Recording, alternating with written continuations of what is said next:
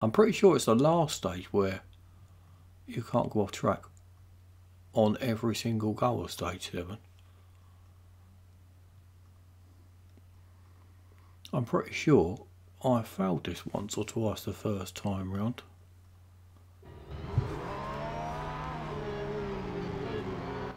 Oh, I will put that in the same place as the accelerator assist thing,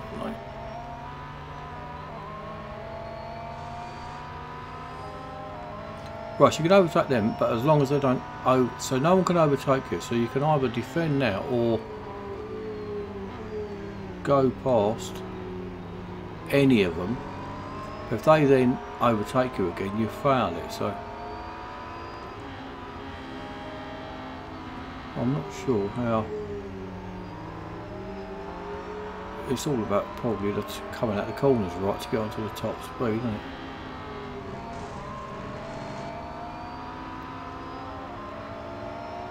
Uh, I've got an idea that there might have been some LMP ones in this. There are. Right, that was probably what the issue is. They're obviously going to have really good top speed, so you are better off going past some of these then.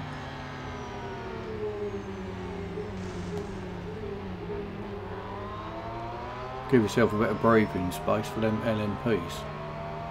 I would think. I probably should have gone past more of these at the beginning because them LMPs are, well should have, plenty of top speed to catch you.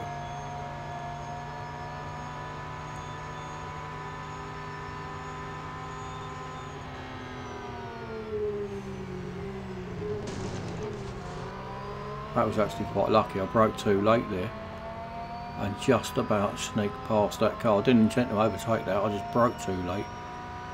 And luckily, ended up slipping past him without going off track.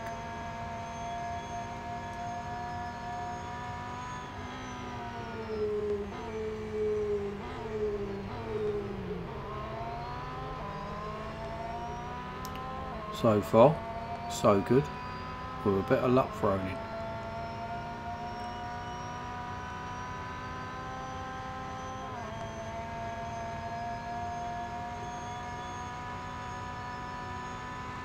Actually, if I can win this, that'll be worth more fame points. So.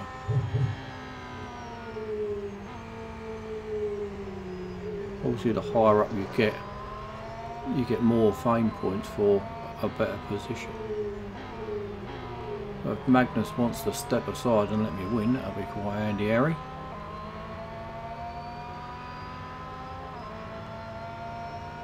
I suppose he will, he's a miserable git, isn't? I've got a nice buffer behind me actually of 120 so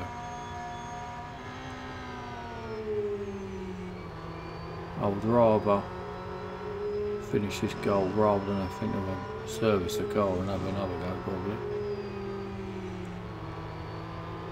I don't really want to risk messing it up do I or do I? Oh, I just don't know whether to go for it or not. Right, calm yourself, calm yourself, it's only going to be a little bit of fun. Not worth risking it, I don't think.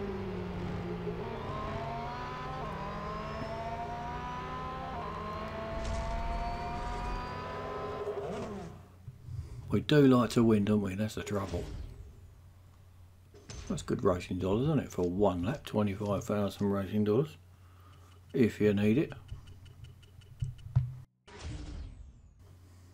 Good fame for one lap and all, 4,500.